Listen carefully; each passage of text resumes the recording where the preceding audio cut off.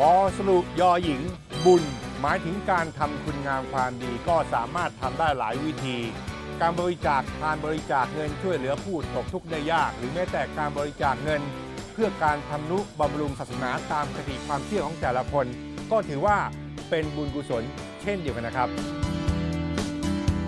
มาดู 5 ประเทศใจบุญที่มีผู้คนชอบบริจาคเงินมากที่สุดในโลก เริ่มจากอันดับ 5 เนเธอร์แลนด์ครับ ด้วยประชากรประมาณ 18 ล้านคน มีคนบริจาคเงินทำบุญในกิจกรรมต่างๆเนี่ยมากถึง 71%นะครับโดยเฉลี่ย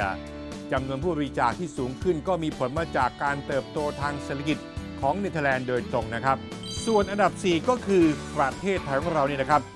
71%เช่นเดียวกัน คนไทยส่วนใหญ่ก็นับถือศาสนาพุทธก็ชอบทำบุญบริจาคทาน เป็นประจำกันอยู่แล้วนะครับ ส่วนอันดับ 3 คือประเทศมอนตาเป็นเกาะเล็กๆ ทางตอนใต้ของอิตาลีในทวีปยุโรปนะครับ มีประชากรประมาณแค่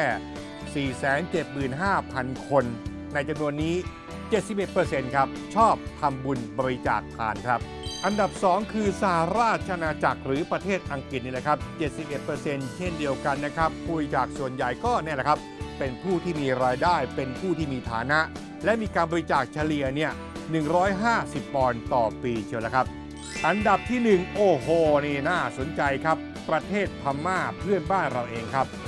81%ของประชากรทั้งประเทศเนี่ยประมาณ 54 ล้านคน เป็นคนใจบุญสุนทานชอบบริจาคเงินอยู่เป็นประจำ และคนพม่า ส่วนใหญ่ 90%ก็นับถือศาสนาพุทธครับ แหละครับ เรื่องของการทำบุญทำทานก็เป็นปณิธานชีวิตที่สวยงามของผู้คนในหลายประเทศทั่วโลกรวมถึงประเทศไทยเลยด้วยนะครับ